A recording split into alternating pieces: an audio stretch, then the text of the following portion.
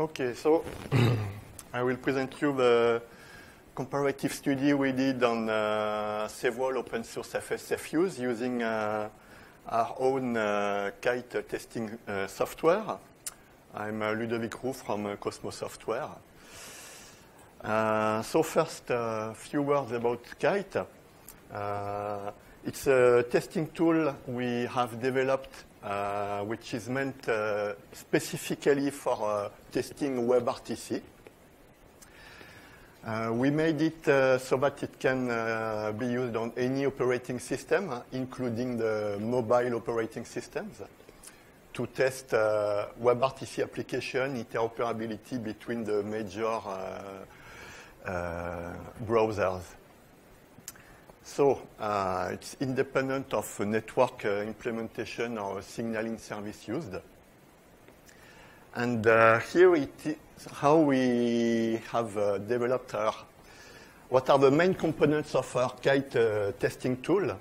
So we, we developed it so, so that the uh, orchestration part on the left side, the conductor and the dispatcher, they are made as much independent as possible as the test runners, so that it's possible to, to manage uh, any type of uh, browser on any type of operating system and using any uh, signaling service.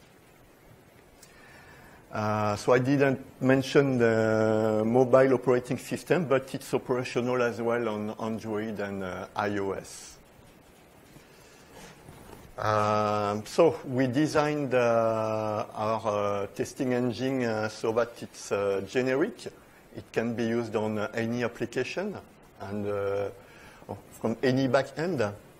We made it as it could be reusable. That is, we can add new tests easily to the list of tests is able to, to run so far. Initially, it has been developed for uh, interoperability testing between the different uh, web browsers vendors. And uh, it's currently uh, used by Google, and uh, as you can see, uh, interoperability tests are available publicly on the official webrtc.org website. It's it can be used as well for uh, compliance testing, uh, making sure the different implementation of the WebRTC stack uh, complies to the standards uh, defined by uh, W3C and IETF. And uh, this year we added new functionality to our tool. It's a load testing, and it's the purpose of my presentation today. So uh, this is uh, how we designed our uh, load testing test. It will be made up of several rooms uh, that has to be handled by the same media server. In each room, uh, we will get uh, six part- seven participants. One is sending a video, and the six others are receiving. So it's a video conference use test. Uh, here are the list of the five uh, media servers we have uh, tested. So uh, we made the test in uh, last month, well, two months ago in August, and these are the versions of uh, five media servers we, we, we tested. So for now, now they made, they, they may have uh, released new versions, but the results I will show you are for these versions only. So, uh, the web client applications for each media server, we made it available uh, so that they can manage multiple rooms, uh, meaning we have a room ID and uh, user ID in the URL of each, uh, of each um, room.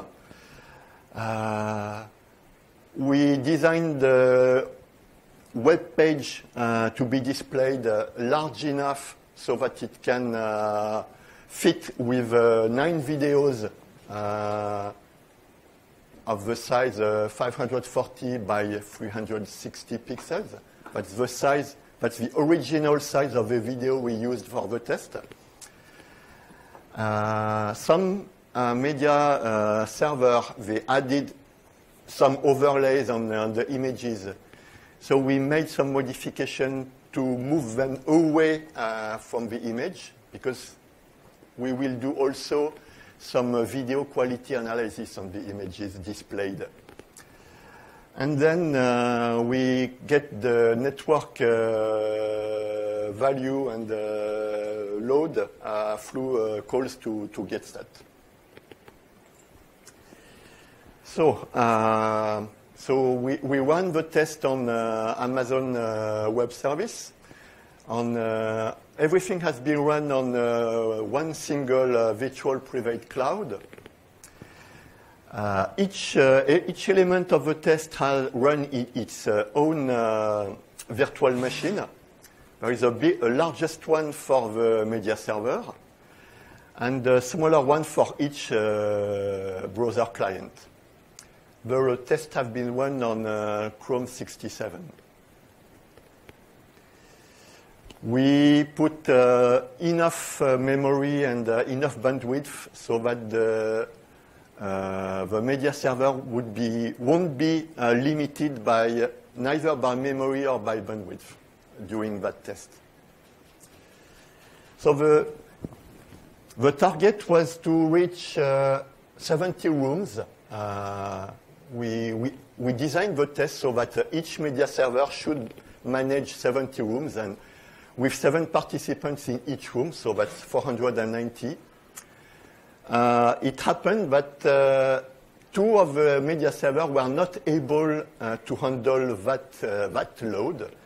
So for them, for Jitsi and Kurento, we, we set up a lower limit because, uh, as you will see in the result, they, they were not able to reach 70 rooms. Uh, so this is uh, a sample of uh, web page displayed by each SFU. So it's a grid of uh, three by three uh, video elements.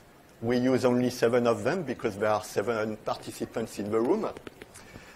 And as you can see, the video that we play, the same for uh, everybody. Uh, it's a raw video, so uh, there is no compression, and it, if we display it as it is, it requires a very large bandwidth of uh, more than uh, 58,000 uh, kilobits per second. So there will be some VP8 compression to be able to, to fit within the test. Uh, how we run the test. So first, uh, we instantiate uh, all the virtual machines that will be necessary to run the test. Uh, and then, uh, sequentially, we create a new room, one single room, and we fill it with uh, seven participants. So one sender and six receivers. Once the room has been filled and we validated uh, that the video flow is, is uh, the video are flowing uh, correctly for all the seven participants, we add a new room to the test and we fill it up with uh, seven new participants. So the test will uh, run uh, for several dozens of minutes until completion, until we reach the target load. And uh, so this is uh, how we did the room filling process. In each room, uh, when we launch a new participant, on this participant we launch Chrome 67. We open the web client app. We wait for the app to be loaded. And then uh, we do some uh, video verification to make sure the video flow is uh, ongoing. And uh, we do this uh, for the seven participants. This is the video flow uh, process. So uh, once the video element has been uh, displayed, uh, has been loaded on the web page, we do a screen capture and we have a JavaScript function that computes the sum of the pixels in the image. So the, in this way, we, we check if the video element is, uh, we make sure it's not blank, so the video flow is, uh, is ongoing. And we make sure also between uh, two uh, screenshots that there is the, the image is not frozen. So we make difference between uh, two images taken at two different times. If the difference is null, the image is frozen. But just that simple. And uh, that's the way, yes. Uh, on the, we started a new room uh, and uh, all the video elements, all the seven participants, take a screenshot, uh, wait uh, one second uh, two times while we, were, while we are doing ramp up, adding new rooms, and calling get stats in between before taking a second screenshot that will make uh, the test to make sure there is no video frozen. And uh, this is the results we got uh, on this test. So, uh, so it's clearly visible uh, about the bit rates that, uh, well, we would say four of the five uh, media servers uh, behave more or less similarly. Uh, only one, Kurento, is uh, very different in its behavior in, uh, on the bit rate.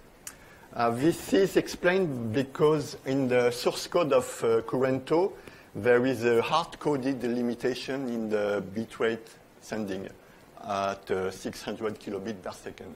It's not allowed to go beyond that limit. So of course, uh, even at the beginning of the test, when there is only one room, uh, this hard coding limitation makes Kurento very below the other uh, media servers. But in spite of this limitation, Kurento shows uh, difficulty to handle the load when you add uh, even not, not so many rooms, they, it, the, the quickly starts uh, to, to slow down. And then in the end, there is pretty quickly, there is no more video flow or, uh, the media server crashes. It's, it was not able to, to handle uh, up, up to 150 rooms, that's too much, uh, participants. For Jitsi, uh, we noticed another problem.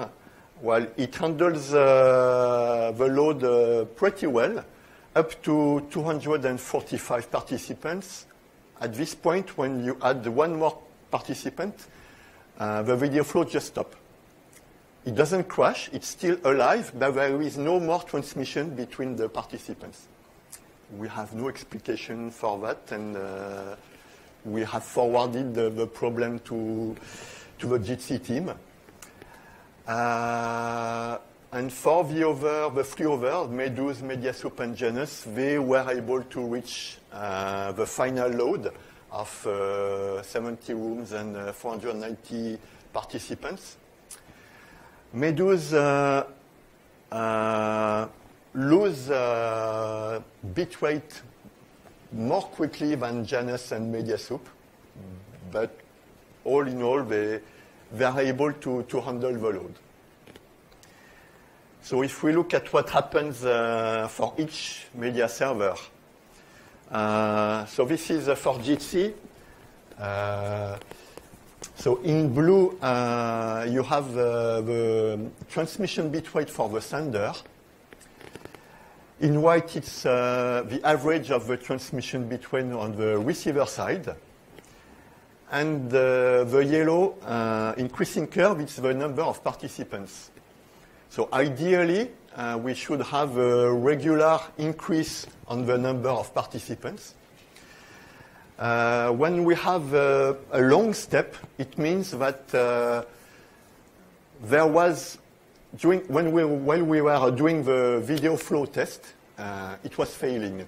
So we wait, uh, we wait for one minute uh, to make the test again on each participant to make time to the media server uh, for it.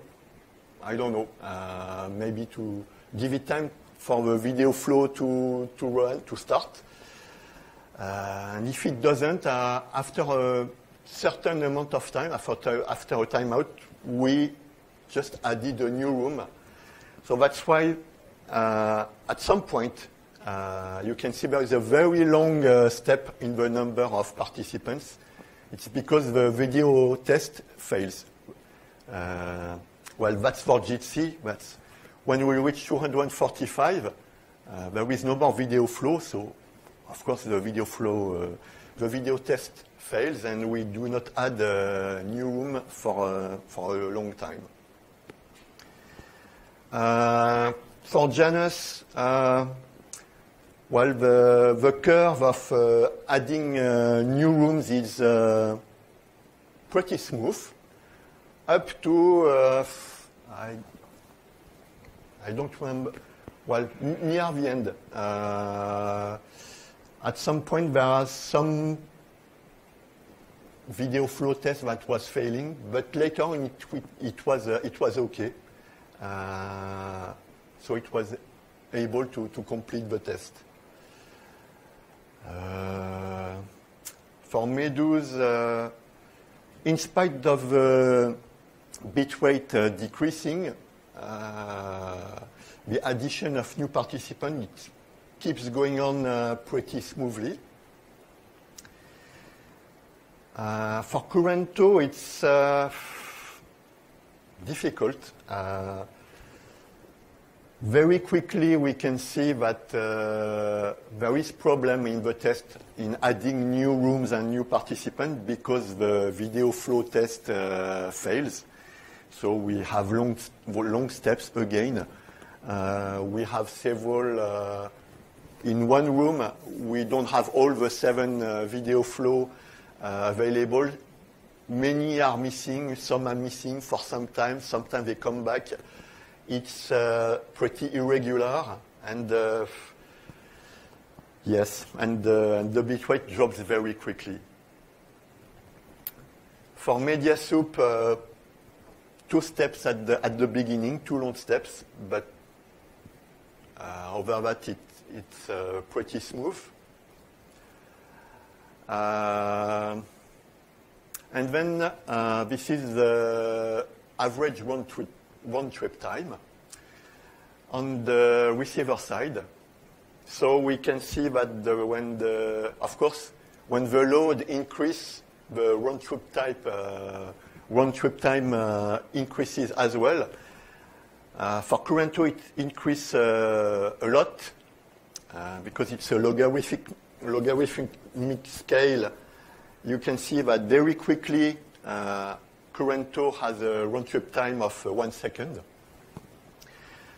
Uh, while for the other uh, media server, they roughly behave more or less the same. Jitsi a bit longer than the three others until it, uh, it stops uh, transferring data. And we added uh, an additional test uh, because the uh, GetStat gives uh, information only about the network level, which could be a clue of what is the quality of video that are transmitted. We may uh, suspect that when the, the bitrate drops, as we have seen for all the media server the video quality may drop as well. Uh, it's not necessarily uh, true. So uh, this is uh, the measurements we made using uh, no reference video quality tool. Uh, there has been several video quality metrics with, without needing any, any reference that has been proposed recently. Uh, the best ones are based on uh, natural scenes uh, statistics. And these are the, this is what we have used to compute these video quality scores. So we can see that in, in spite of uh, having much lower video bitrate, uh, much lower bitrate, the video quality doesn't drop much, uh, well, except for Kurento, which has a very specific behavior. Uh, we can explain this because uh, the video we have used, the size of that video, uh, with video compression, uh, it, make it, it makes it possible to keep uh, acceptable, good quality uh, down to about 150 kilobits per second. And if we look at the, what were the bit rates uh, which Medooze, uh, at the end of the test, uh, it's, uh, it's, it's at 200 kilobits per second. It's still above that limit where the quality of the video starts to get really bad. So uh, that, that explains what, why this uh, video quality remains high uh, all along the test. Even at the end, at the full load, we still have uh, pretty good uh, video quality because the, the bandwidth used uh, by the by the media server is still high enough to to provide uh, acceptable quality. Uh, so uh, the outcome of this uh, load test is um, for Kurento, there is a hard-coded maximum bandwidth. Uh, in spite of that, uh, the bitrate drops very quickly, and it's not able to to manage the more than uh, 100, 150 participants. Uh, Jitsi stops transmitting when we go over 245 participants. And then Medooze, Janus, and uh, MediaSoup, they are all, all the three of them able to reach the target load. But they, what we measure, the, the drop on bitrate, it's, it comes quicker for Medooze than for Janus or MediaSoup, which are able to maintain a high uh, bitrate for a longer time for more people in the, in the, in the test. So in conclusion, I would say uh, we, we are now able to, to do a comparative uh, test of uh, media servers available uh, in, uh, in the same environment, in, uh, in the same test condition. So it, it's really a comparative test. We hope this could help uh, the developer teams of each uh, media server to, to identify uh, some uh, problems or difficulties in, in, their, uh, in their tool and that they can improve it. Uh, so we, we have disseminated our result to, to each team presented in, in this study. And we have added an assessment of uh, video quality which doesn't need any reference. So only on the image we received at the